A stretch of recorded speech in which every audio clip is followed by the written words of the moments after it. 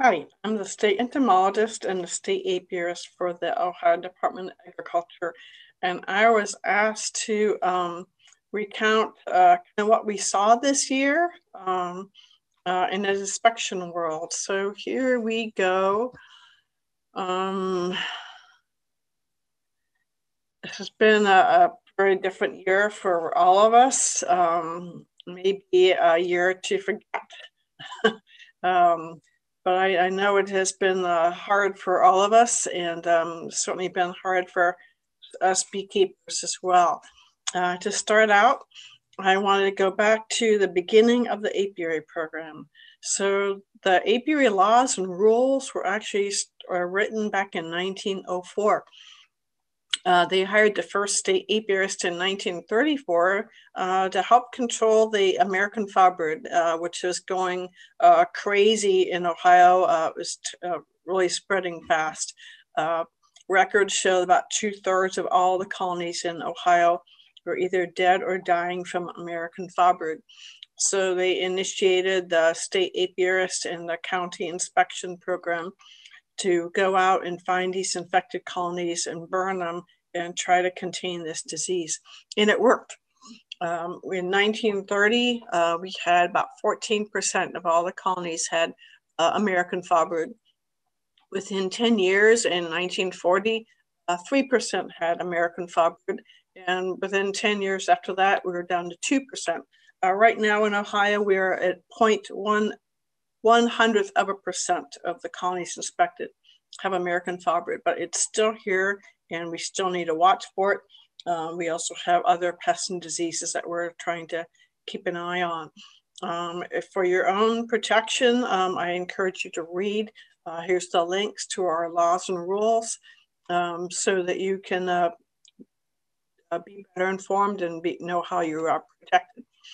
Mainly, the apiary program is here to have healthy bee, uh, beehives, to encourage uh, healthy beekeeping um, and have good pollination in Ohio.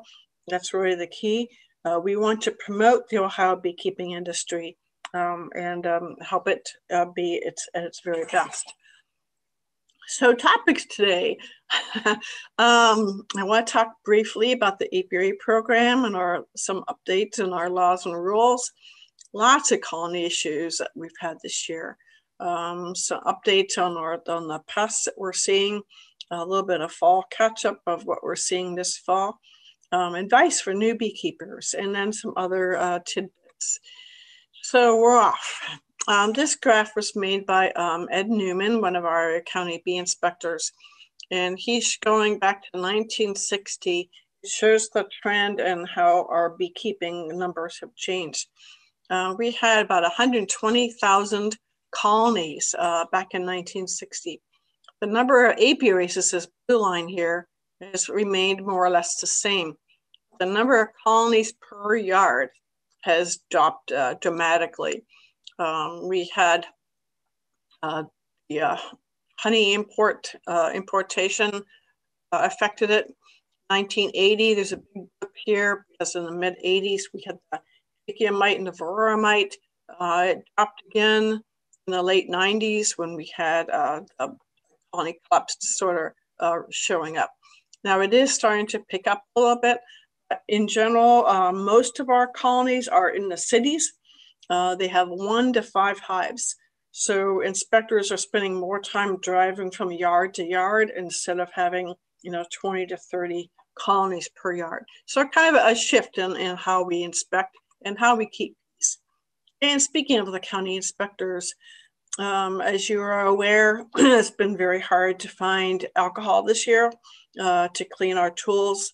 We've had a very difficult time finding uh, um, disposable gloves and other cleaning aids, which we need to do our inspections.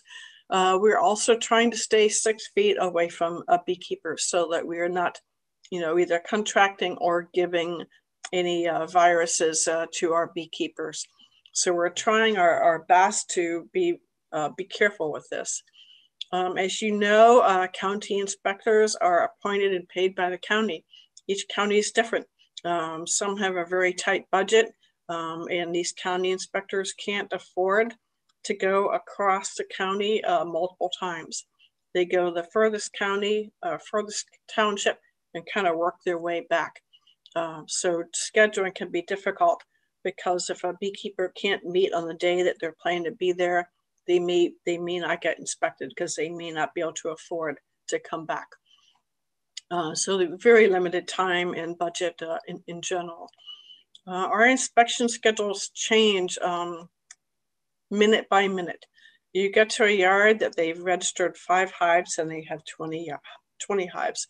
We spend a lot of time when we're there uh, teaching the beekeepers, um, helping them, uh, diagnosing problems, especially in the spring. We do uh, autopsies on the bee colonies, so dead bee colonies. So I ask that you please be patient um, because we have very good inspectors and they're they're doing their very best.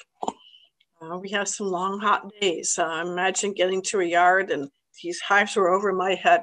So I'm glad I had a, a tall guy there to, to help me uh, take those supers off. Um, our inspectors, our job is to look for pests and diseases and to stop the spread. Uh, however, they do a lot more. Um, they're teaching, they're um, helping beekeepers fix a problem, they're doing um, demonstrations. Um, so we, we have a lot of very hardworking uh, inspectors out there uh, doing their very best to help you have uh, healthy colonies. Um, so um, I want to talk briefly about our definition of a nuke. This has been in the books a couple years.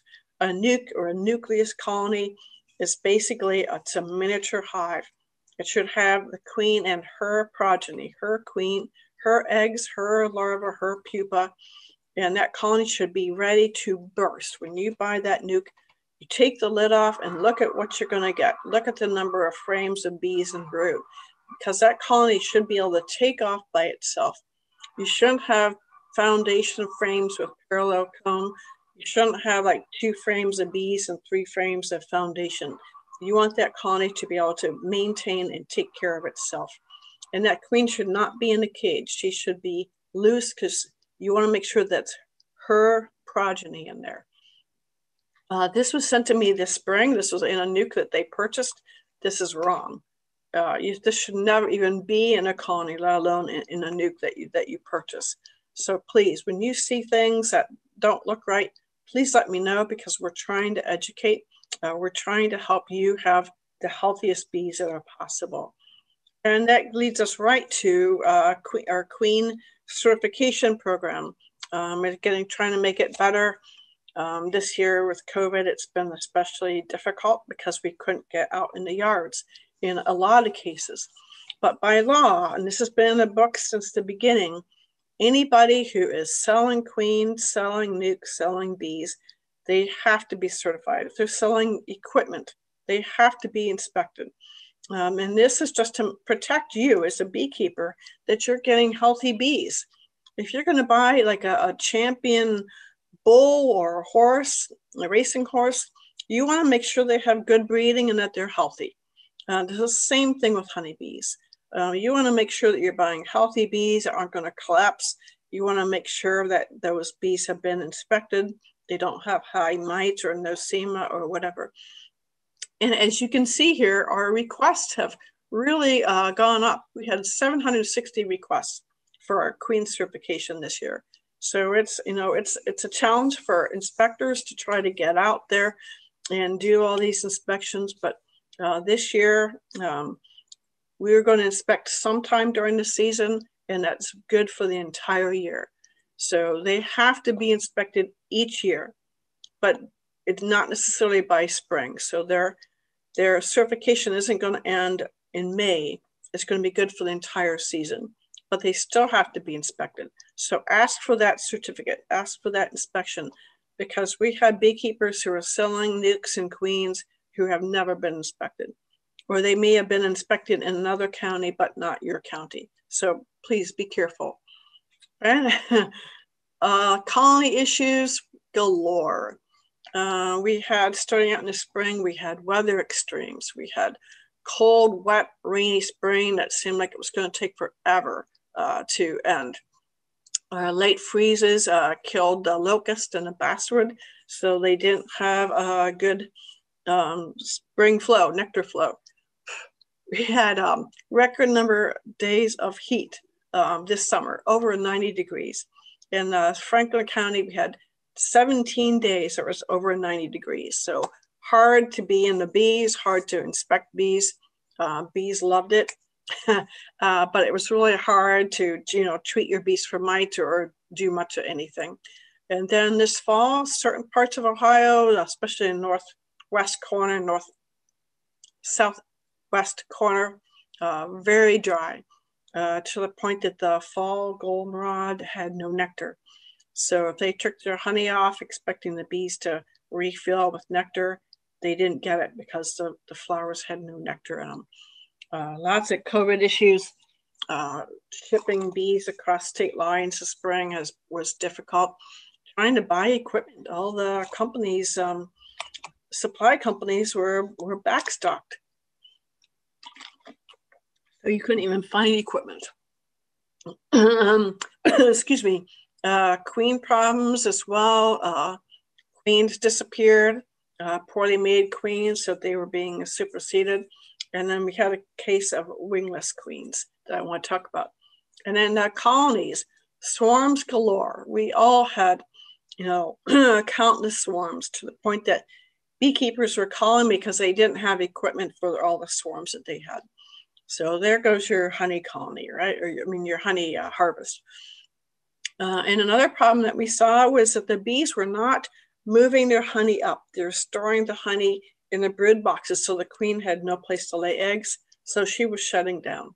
So we saw that a lot this spring, um, even this summer and, and this fall. I was finding what I would call honey hoarding, where the bees were not storing the honey upstairs. They weren't drawing out the uh, foundation. They are keeping all down in that bottom box.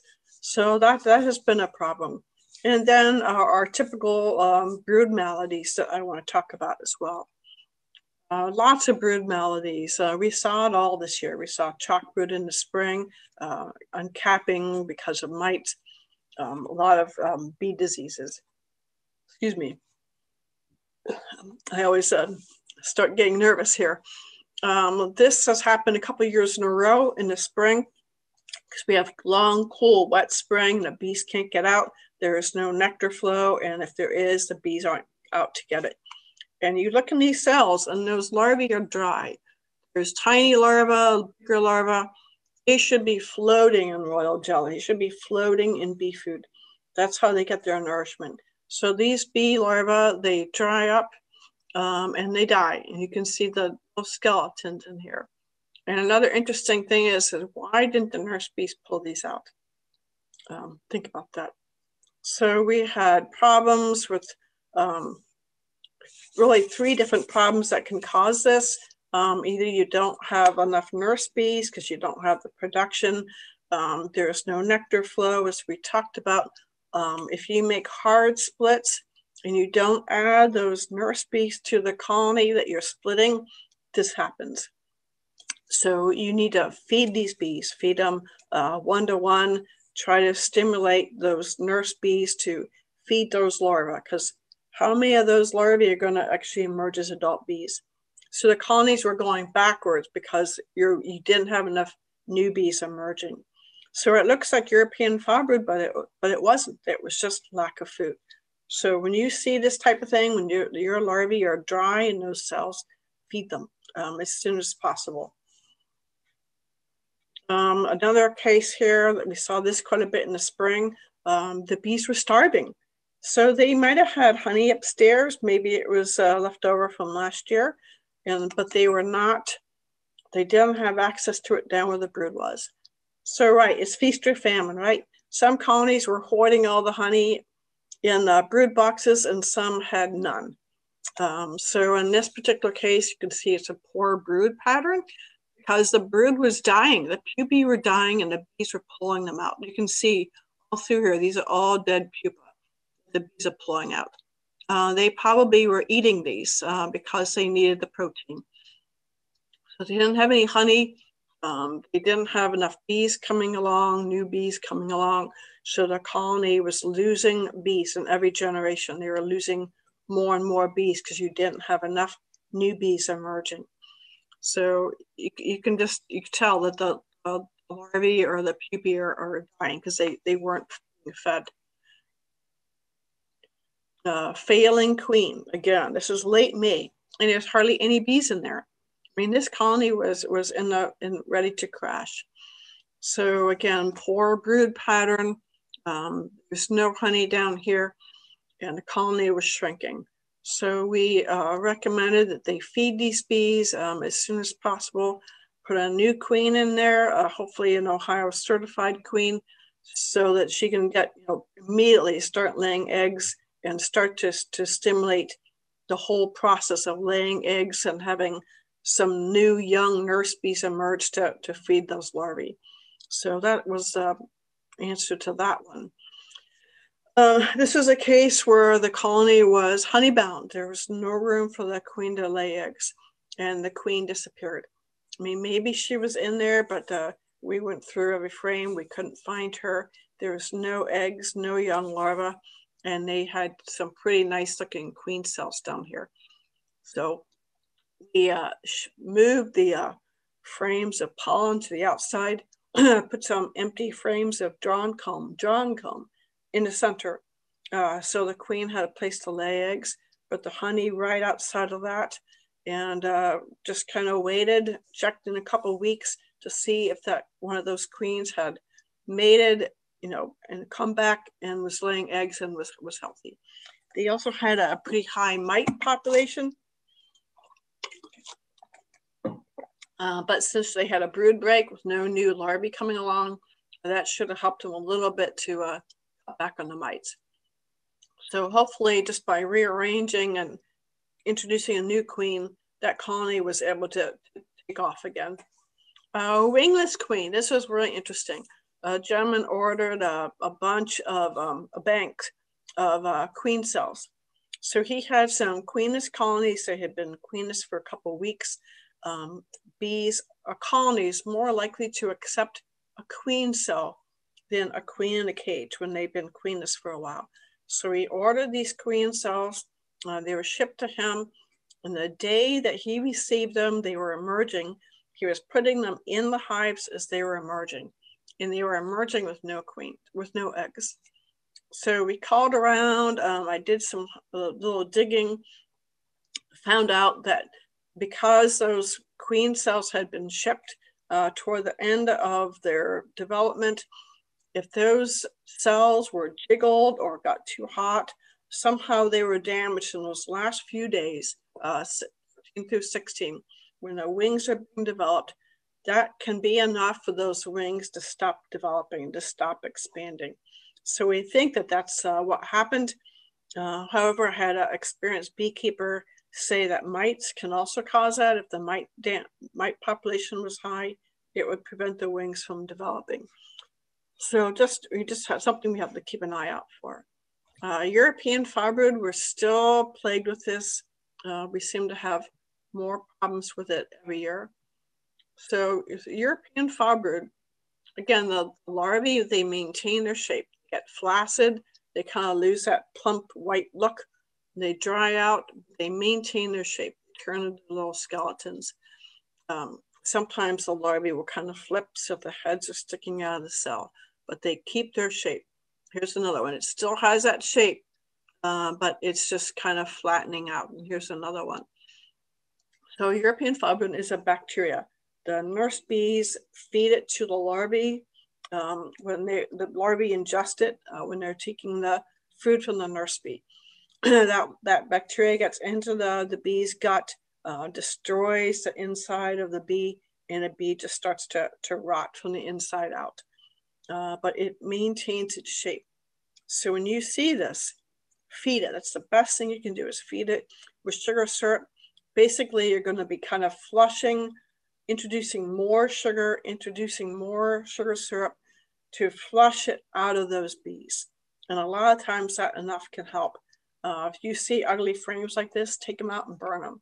Don't start switching frames uh, between hives or yards because you can just spread this. So feed them. If it continues, uh, requeen it. Um, I don't recommend using antibiotics for any bee disease. Um, now you have to have a, a veterinarian's prescription to get it, so it's harder. So if you can just do some physical things like burning these frames, feeding them, maybe introduce a new queen if it continues, um, often that is enough to um, stop this.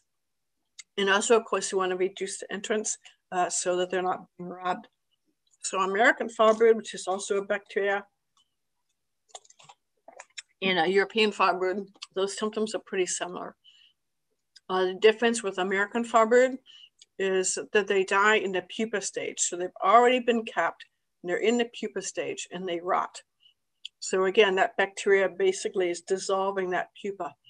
So it's diagnostic if you take a stick and put it down in one of these capped pupal cells that's collapsed, you know, jiggle it around in there, stir it around to pull it up, and you get this brown sinew. It looks looks like snot, really. Sorry. Um, that's diagnostic. It's this looks easy. It's not always that easy. So if you see something wrong with your bees, please please call. Ask an experienced beekeeper. Ask your county inspector. Uh, call me. Um, let us let us help you figure this out. Just don't let it go. Let it go, and to see if it goes away by itself, uh, because it won't. It just keeps getting worse and you'll have more and more colonies uh, be infected. So you can cut a sample of this comb out, uh, wrap it in paper and put it in a crush-proof box and send it to Beltsville and they can diagnose it. Uh, Vita Bee Health has a diagnostic kit, which if you use it correctly, uh, that can help you diagnose it as well. But please call us and let us help. This is a, a close-up of uh, American foulbrood. Again, you can see how the capped pupae have kind of collapsed. They're kind of greasy looking. Uh, the bee, nurse bees have tried to uh, remove these pupa. They start chewing through them and pulling them out. You can kind of see there's a little bit of a, a dead brown pupa in there uh, that has died from American foulbrood. So this is this is American foulbrood, which is extremely uh, contagious. Um, so when I'm out looking around the, the state, I see um, co uh, colonies that have all different names from different bee suppliers. And it is kind of interesting to see that. Um, however, you have to be very careful because that is how you can introduce American foulbrood or other diseases into your yard. So when you're buying nukes or you're buying old equipment, uh, first of all, I never, never use old brood comb, just never do if you buy a nuke or, or you know a bee colony from somebody, make sure that you're buying equipment that has been inspected because it's just not worth it. Once you have American foulbrood in your yard, it's there for 70 to 100 years, and you're going to be plagued with it every year. Um, so it's still here, uh, so please keep an eye on it. Um, we've been seeing more of it this year, the last few years. Uh, partly, I think, because people have been stockpiling terramycin and it probably isn't working as well anymore. Um, it's harder to find because you need that prescription. And I think some people are just not bothering because it's harder to find uh, terramycin. Remember that terramycin only hides the symptoms. It does not kill the, the spore. So the best thing, unfortunately, is to burn those hives. So just, just be careful and only buy approved inspected equipment or, or don't buy it at all. Um, moving into summer. So we have had uh, mite problems. It was so hot this summer that beekeepers couldn't get in to treat. Uh, uh, most of those treatments uh, don't, you know, you don't want to use it when it's super hot. So our mite population has exploded. And you think about it, once we have a nectar flow you have all those drones being produced. From that point on, that's when your mite population starts to go up. So it's it's it's going to be here all summer. They don't just show up in the fall. Um, we had problems with the queens laying duds. They weren't mated well. They were being superseded. So we had problems with that. So you can't just assume your bees are okay. Um, check them. You know, go in there once a week. You know, once a month probably more, more like once a month. Make sure you have a laying queen in there. Um, from August on, that queen is laying winter bees. So you want your bees to be super strong, well fed from August on, because those are the bees that have to survive all winter long. Um, we've again we found colonies that were honey bound, so the queen had no place to lay eggs, so you have no new bees coming along. Remember that bees are adult bees are only going to live about 30 days. So if you don't have new bees coming along, you're going to have a, a lapse in your uh, bee production. Um, we had hungry bees this fall because they had no honey. So again, those bees probably aren't going to, you know, survive the winter because they weren't well fed, they weren't well nourished, they don't have all the all the proteins that they need to survive the winter. And then we need to keep checking for pests. So small hive beetles are an indicator of stress. Um, we always see them in the fall and I don't worry about them too much if they're on the inner cover. But when they're down in your brood frames, that's a problem. That tells me that you don't have enough bees to keep those beetles away. So if you have a strong colony, you have plenty of bees per frame, they can keep those beetles away from the brood. But once the beetles are down in your brood comb, you're going to have a hard time getting that colony to, to come around. So the varroa mite, sorry, um, keep in mind that three quarters of all the mites are in your capped brood. So all these treatments that you use that only knock the mites off the adult bees, um, you know, that helps, but it's not, not doing anything to protect your bee larvae. So the bee larvae are the ones that are being um, affected the most by the bees, by the mites. Those mites are chewing on those bee larvae and, and damaging and weakening them.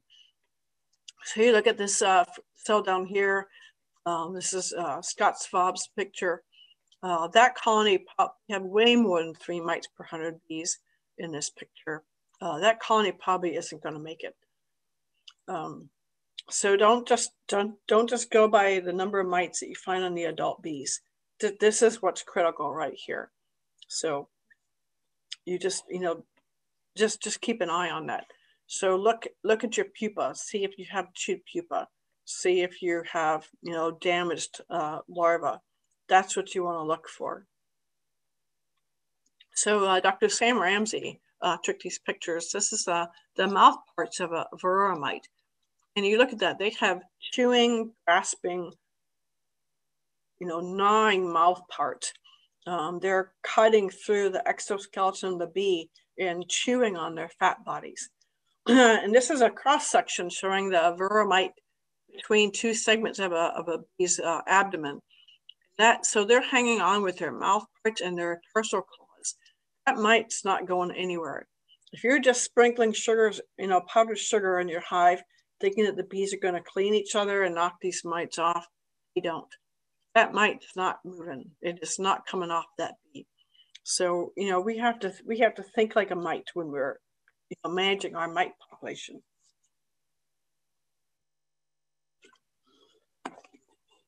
So bees get PMS, um, parasitic mite syndrome. It's basically it's a virus. It's it's uh, actually it's more of a combination of bacteria with virus. So you think about it, the mites are opening, you know, they're causing openings in the bee larva. All kinds of bacteria and fungi live in a, a beehive. Um, they live in those nice dark cells. So yeah, there's propolis on the outside, on the in, interior of the hive. But in those cells, those mites are walking around carrying all kinds of bacteria and, and diseases on them, or microbes on them. So they break through the exoskeleton of the bee, they're feeding on the bee. And all these bacteria invade those bees. So they turn into kind of a, soup of bacteria and they lose their shape. So they turn into blobs.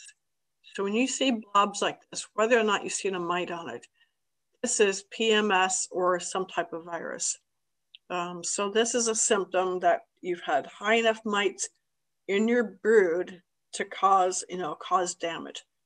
If you look at this, you know, these pupae have died. They had, you know, some kind of a mite problem or disease.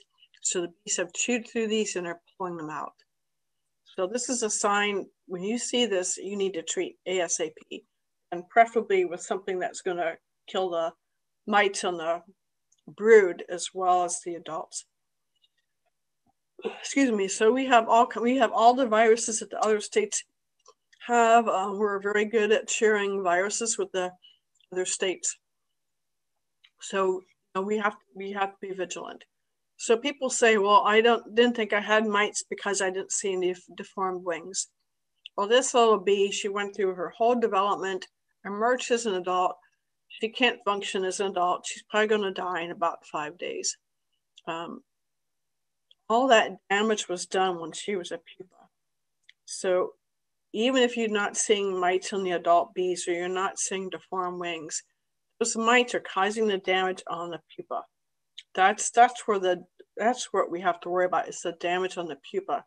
Um, whether or not you see deformed wings, whether or not you see mites on the adult bees, it's the larvae and the pupae that are being damaged the most. And then you have to wonder, does the queen have it too? Because the bees are feeding each other, they're spreading it to each other, and the, the you know that's how the virus is spread in a colony. It, it's it's easy. We make too big of a deal out of the process but it's easy to check your mite level and you should be doing it once a month. You look down in the cells and you see, you know, this is mite, mite feces here. And this mite is, uses it as a ladder to climb out of the cell. You see there's a mite there that hasn't hardened off yet. There's two more mites down here. Each, each bee can have three to four mites emerge on it. So think how quickly that mite population can increase in a colony. so if you see this mite feces down here, you're, you have a high mite population. So this graph was made by um, Dr. Randy Oliver uh, with Scientific Beekeeping, and he shows the, the trend of the bee population compared to the mite population. So our honeybee population kind of peaks around July, June, July. And then after that, um, we, are, we lose our honey flow uh, egg production starts to slow down. Mite population, on the other hand, it actually starts to increase because you have fewer bees, you have more mites. You know, every every three weeks, your number of mites actually triples in a colony. So the mite population is increasing at the very time that the bee population is starting to go down. So you end up having more mites per bee. So if you can keep your mite population on this red line uh, below the point where you have more mites and bees, below the population of the trend of the number of bees in your colony, a colony stands a chance of surviving. But when you have these high number of mites, uh, that colony, it's going to struggle. And how many of those winter bees are going to be able to survive until spring? That's the question we have to ask. So we really encourage you, that's not just me, it's the researchers all, all around the United States to check your mite population every month.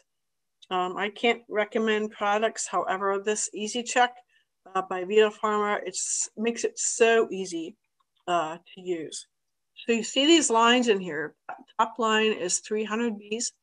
You put 300 bees in there, uh, knock the queen, uh, knock it in there. Uh, you fill this line up to the bottom of this white shaker thing with uh, alcohol. I use a little bit of, I add um, windshield fluid just to spread the alcohol out a little bit more. And you shake it vigorously. And then you can hold this up and look down here. You can count the number of mites that drop. Um, you can pour it out on a coffee filter uh, and know exactly how many mites you have per hundred. That's, that's the best indicator, the most efficient, effective way of testing your mite population. So we did this a couple years ago. Jamie and I were out looking. Uh, these are really bad colonies. They're full of small hive beetles. 45 mites per 300 bees. Uh, you don't have to do the division down to 100 bees. That is way too many, too many mites. Um, and that colony probably didn't make it. And it's easy now. It's easy to know how, what to use, how to treat your bees for mites. Um, Honeybee Health Coalition has has made this so incredibly efficient.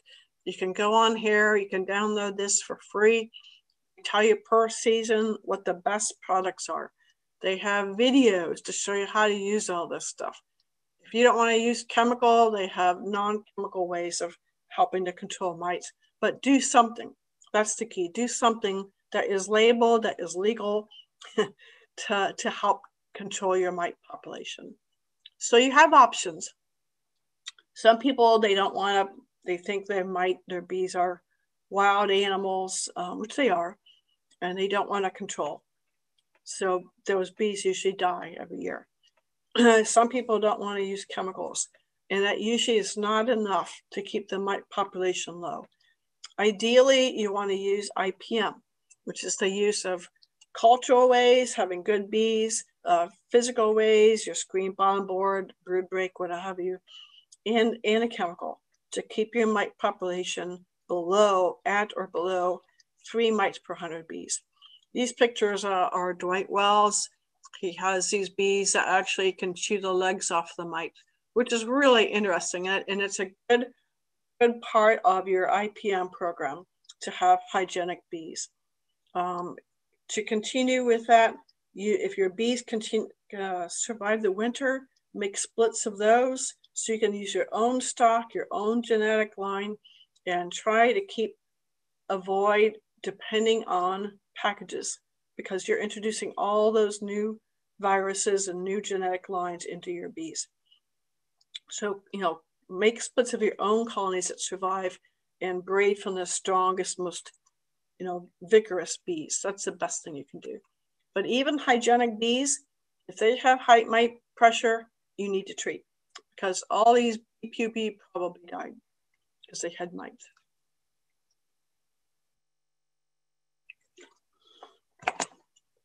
So moving on to fall, um, your colonies right now, they should weigh at least 80 pounds. So go to the back of your colony, use your hands, and lift up the back of your colony. So the front end, of course, is still, still on the ground. Lift up. If you can't budge that colony, if it's nailed to the ground, that colony is probably fine. If you can lift it easily with two hands or one hand, that colony is, is struggling. Uh, they need to be fed ASAP, if not beforehand. So they should weigh at least 80 pounds. You want to condense these colonies. Take all those frames of foundation, get them out. Bees are not going to fill out foundation at this time of year. So get rid of the frames of foundation. You only want frames that have bees, um, brood, or honey on them, or, or a little bit of pollen maybe. But you want those frames to be full of bees. So compact, combine, whatever you need to do, keep those colonies strong for the winter because they can't wander around trying to find honey in the wintertime. They need to be compact. So feed them if they need to be fed. Uh, keep those colonies contact, compact. Uh, bees can defend themselves away from, um, from small hive beetles if you have lots of bees per frame. Um, so that's the key and try to find places next spring um, that have lots of forage. Those bees are going to do much better. um, research has shown that if your bees have sufficient forage, year-round forage, um, they can combat the mites and the viruses and other stresses so much better. So find, try to find places that have year-round forage. This picture, this is Dwight's, it was taken uh, last month. So you want your colonies to look like this. They're covered with bees and brood, um, compact like that, so they can survive the winter. That's that's the key.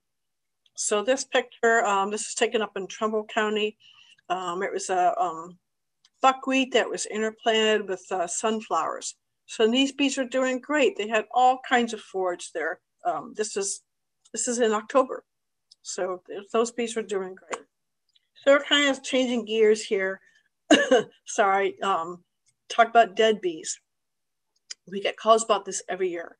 If you suspect that your bees have been damaged or killed by pesticide, please call the pesticide division as soon as possible. You should at least walk by your hives, you know, every couple of weeks to see, you know, make sure those bees are okay. Um, they can die from other things. They can die from mites. They can die from starvation.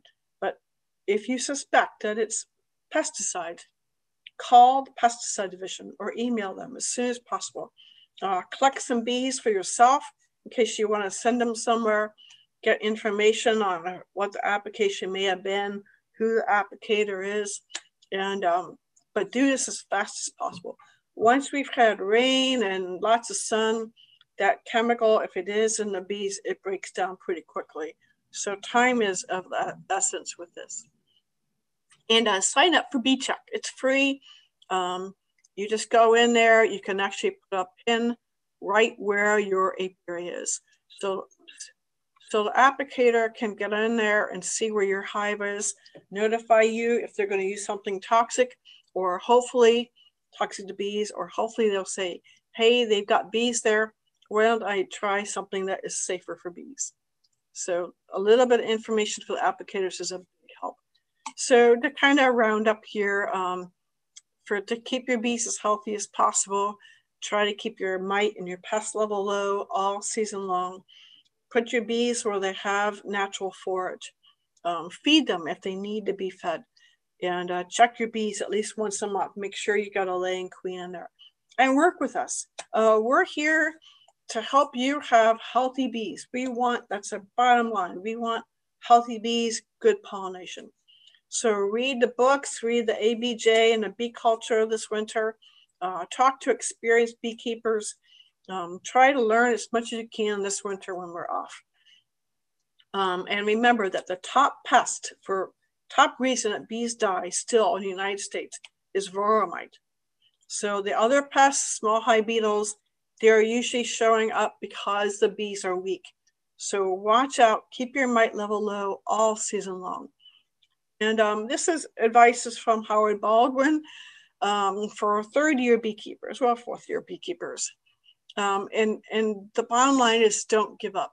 You've invested three years, four years of learning. You did something wrong, something went wrong, and you learned what to do. You've invested all the time and the money on all this equipment. Don't give up. Um, give it another year. Buy some nukes. excuse me, and uh, give it. Put those years of experience back to work, and call us. You know, ask experienced beekeepers who, you know, they're making uh, splits of their own colonies. Um, ask people who've been keeping bees 20, 30 years um, who are successful. Those are the ones you want to ask. Ask us, ask the county inspectors. Um, help, you know, help, let us help you. That's, and uh, I am finishing up. Um, mean bees, we get calls about this every year. Uh, we had some swarms this year that were very mean. And one bit of advice is please um, wear a veil when you go in your yard. Take a smoker with you give your colonies a couple puffs of smoke and wear a veil. Even if you take it off because the bees are fine, but wear your veil when you go in the yard and open your hives. Uh, you're all important. You're important to me, and I don't want you getting hurt. So please, uh, let's use a little bit of um, vigilance here, a little bit of common sense when we're working bees. Um, so mean bees whether or not they have Africanized genes, they act mean. And that's that's what we're talking about. Somebody plops a bunch of bees near your apiary. Um, we don't know what those genetics are. We don't know what pests and diseases they have. And ideally, they need to be far away from our local beekeepers. So my first advice is to know the property owners around you let them know that if someone brings new bees in, you don't know what pest diseases they have, what genetics they have. Um, it's it, they're competing with your own local bees. So, you know, let them understand, you know, the dynamics of these bees that are being brought in. Second of all, in Ohio, a pollinator yard, pollinator colonies are only there to pollinate a specific crop. They can't just be plopped down for the season and taken out in the fall. That is not a pollinator yard. Those yards need to be registered by law. So if it's for pollinating, they need to be taken out within a week after that crop is done blooming. Otherwise, they need to be registered. So keep that in mind as well. Um, make sure that your hives are registered um, so that we can, you know, protect your colonies at least. Um, provide enough food for your bees. Make sure they have plenty of forage. Make sure they have constant water all year long, all season long, constant source of clean water. And buy local stock. That way you know that those bees have survived our winters. They don't have some of those genes that we need to avoid. Um, this particular case here, um, the bees were plopped down uh, near her and they were cleaning out her bird bath every day. She could not keep water in it for the birds. Um, the bees had no water. There's too many colonies for that area. They are heavily uh, competing for food and water. Um, it was a very bad situation. And the problem is that the Tucson lab doesn't test for Africanized genes anymore. Um, and even if they do, if we do the DNA testing, it only tests the queen line. It doesn't test the drones. So if the queen made with a drone that had Africanized genes, there's no way to test it. And, and the problem is that the, they have been intermating or mating for so many years that they both have genes of, the, of each other. So it's very difficult to actually test and differentiate it anyhow. But the point is, if you have local bees, local queen, local stock, we're not going to have these problems. So let's help us protect each other. Let's help us protect ourselves in our in our in our honeybees. So um, finishing up here, we're still getting calls about the Asian giant hornet. And I do encourage you, if you see something you don't recognize, you know, send it to me. Uh, you can go to this website here uh, at Ohio Department of Agriculture, send us a picture and help us identify it because this is going to be a problem from now on that we need to watch for it. So please let us know if you see something strange. And with that, I want to finish up. I want to thank you, um, Peggy and Jamie and the OSBA board for making this happen. This has been a hard year, very challenging year. And uh, um, I thank you for helping us at least have a conference. And I want to recognize Barry um, for being a mentor to probably all of us, uh, and he'll be deeply missed. Um, with that, um, I've got some links uh, for you. I want to ask you to please, uh, when you watch those YouTubes, remember um, that anybody can post anything online. So they may be in another state, another part of the country. They may have no idea what they're talking about. They don't always tell you if their bees survived. So please be careful when you're watching those YouTubes. There's a lot of bad information and illegal stuff being going on. Um, and I encourage you to take the Bee Informed uh, survey this uh, spring. Uh, there's a lot of good information on there for us, and they depend on us beekeepers to take it. It tells us, you know, what works and what doesn't work. So please do uh, plan to take that. Uh, this is my phone number and my email. Um, please let me know if you have questions or problems. Um, I'm here to help. So with that, I want to thank you. And um, this back to Jamie.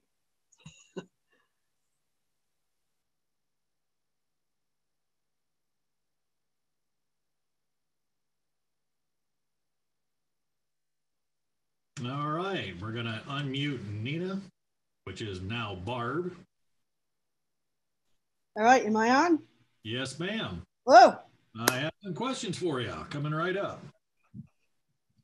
Okay, Barb, here's uh, the first question. I'd like to know your thoughts about my first year experience. I got a package end of April, and in the third week of having them, they swarmed. That is the beginning of my first year. Was not an abscond, and it certainly taught me a lot of, about beekeeping. But how likely is it for a package to swarm in the first three weeks in a brand new hive? I'm betting you had another queen in there. Um, I got other people here who can voice their opinions too. But sometimes, you know, they're shaking those bees into that package. It'd be very easy for them to shake a, a virgin queen in there. So, you know, she flies out, mate comes back, and then they, they swarm. So that's probably what happened. And it does happen. Um, it's bad when it happens to a first year beekeeper. but it does happen. So did they did they make it? Oh, this was asked over the chat. So Barb, we don't know if they made it or what happened after it. Okay, sorry. Second question, Barb. Has there been any reports of the Moku virus in Ohio? If that's how you pronounce that. Yeah, the so the Moku virus, I, I, I read about that. I there have been no um, no reports of it. So I didn't do the honeybee health survey this year, uh, so they could have tested for that, I suspect. But I don't think it's been found yet in the United States, uh, but they are certainly looking for it. But the symptoms look a lot like the symptoms that we have where the larvae just turn into goo. Like we need another virus. All right, the next question. What is the reason for a queen bee absconding from a stressed hive? Isn't it suicidal? Yeah, it's probably might. I mean, I don't, I don't really understand if it's the queen that left or, or you know, a, a, colony, you know, a bunch of them. But they will leave when when the mites are high. They'll leave if small hive beetles are high. Yeah, if they're being robbed, they'll leave too. But yeah, they'll abscond uh, with either small hive beetles or high mites. The next question, Barb. Do we often mistake waste from a heavy winter mite infestation for crystallized sugar? I wonder how many times I've done this myself. So I think crystallized sugar, easy for me to say because I've been seeing it for a while, but crystallized sugar is larger, more granular, and I'm using my hands. uh, but one, it's going to be in the frames with sugar, I mean, the frames with the honey in the outer frames, not in your brood frames. Um, the, the frass from the mite is much more fine, like almost like a like fish scale, so it's finer. Not to um, confuse that with American foulbrood, but it's much finer. When you're looking at a tiny little mite, and imagine what poop you know comes out of that mite. So it's smaller and finer, it would be in the brood frames, not in the honey frames. So I think I think you'd be able to tell the difference. You can always taste it, right? I'm kidding. I'm kidding. Okay, another question, Barb. What if you find a bunch of dead small hive beetles on your screen bottom board? Is this from the bees killing them off? I suspect that some of the bees had left and um, left the hive beetles behind. They either left or they died.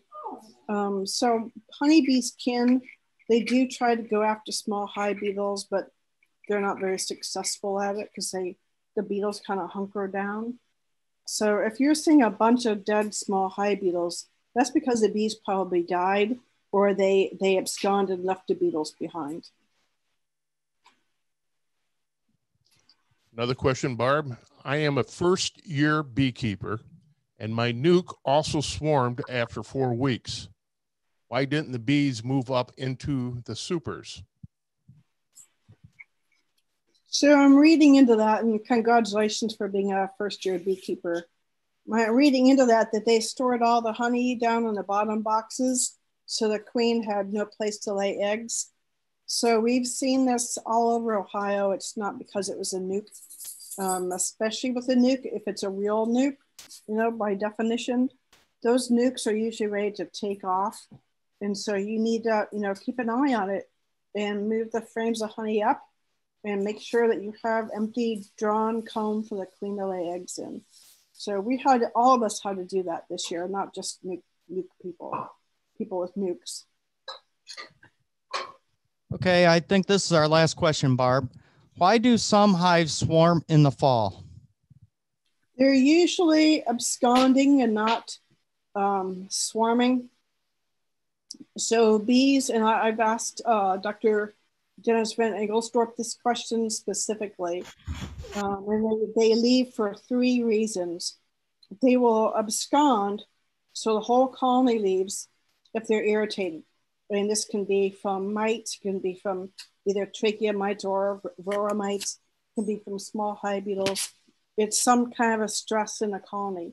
If the colony is slowly just disappearing, a few at a time, it's because those bees are sick and they're leaving the colony to, to die. So if they if they're if it's a true swarm, so they make a new queen and some bees leave and some queens stay. Um, they are probably trying to requeen because it was a bad queen. But if the whole colony leaves, that's absconding, and it's because they were stressed.